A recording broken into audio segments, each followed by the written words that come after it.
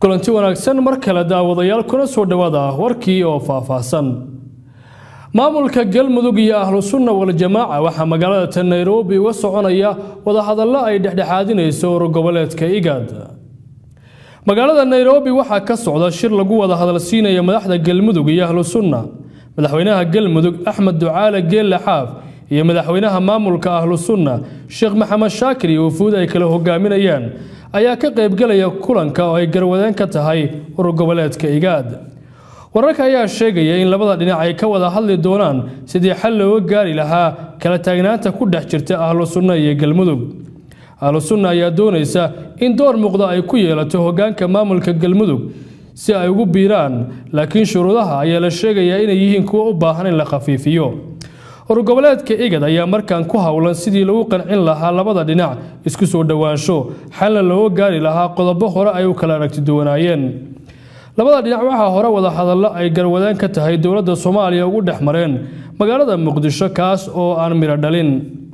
Maamulka galmudug ayaa doonaya sidii ahlu sunna ay ugu biiri lahayd maamulka galmudug laakiin wararka ayaa sheegaya in ahlu sunna ay sidoo kale doonayso inay saami muuqda ku yeelato dhaqaalaha lagu helo magaca galmudug iyo hogaankeedaba.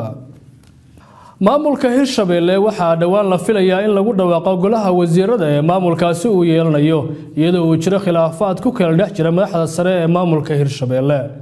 Wariyaha telefishinka r t n magaalada jowhar cabdishakuur shaasha ayaa warbixintan soo diray magaalada jowhar ee caasimada dowlad goboleedka hirshabeelle waxaa ka dhacay kulan ay soo abaabuleen dhallinyaro waxgarad iyo odayaal dhaqameed.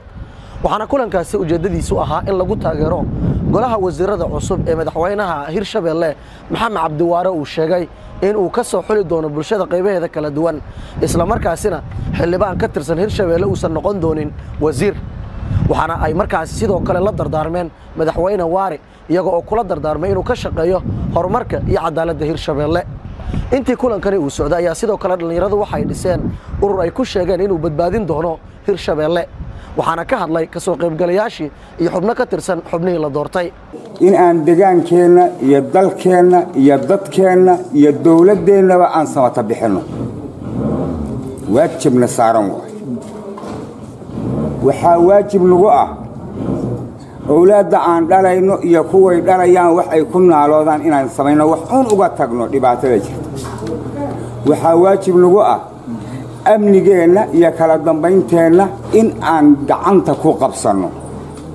Arrimahaasoo dhan markaan isla fiirinnay isdayacyada jira aan aragnay waxaan samaynay baraarujin iyo bal bulshadu inay wax qabsan karto inaan is aragno oon tashanno waxaan abaabulnay golahan magaciisa la yidhaahdo isku xidhka iyo samata bixinta dowlad goboleedka hirshabeelle sidaas darteed haddii aan nahay dhallinyarada ee ku dhaqan deegaanada hirshabeelle waxaan go'aansanay gaar ahaan gobolkan shabeellaha dhexe waxaan caddeynaynaa in golahan uu isgarab uu garab istaagi doono madaxweyne waare islamarkaana uu ku taageeri doono wasiirada uu soo dhisi doono dhowaan.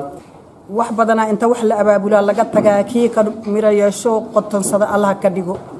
Ununku waa soo dhibtoonnay alxamdulilah shukuri soddon sanay sii gaaraysaa intaan dhibaato la daalaa dhacayno.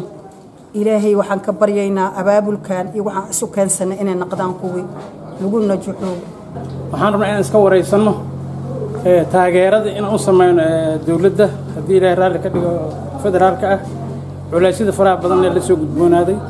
Iyo macnaha sida baayada aan ugu qabno inaan la shaqayno dhallinyaradii aqoon-yahankii culamo-udiinkii maanta wax naga maqan mana umaleynaa ururada haweenka kulli waa la dhan yahay. Marka xiga waxaan aad iyo aad ugu hambalyeynayaa oo aan idinkaga hambalyeynaya idinkagana mahadnaqayaa sida xilka aad ii doorateen ee guddoomiyenimada waa idinkaga mahad celinaya haddii aan la idmo sidoo kale waxaan rajaynayaa maadaama golahan uu yahay golo ay ku midaysan yihiin dowlad goboleedka hirshabeelle waxaan insha allah waxaan ballaarin doonaa golaha.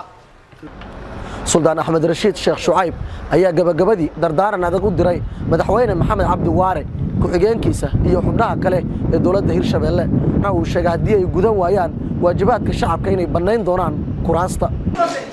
Waxaan taageersannahay go'aamadii wasiirada bannaanka laga keenaa la yidhi oo uu ku bilaabay wasiirkayga. Anagtu waa xaraysan yahay. Mudane xasan axmed muudde ayaan xareeyey go'aankii madaxweynaha. Madaxweynaha go'aankiisii ninka qaatay waa aniga. Kow anaa bilaabay.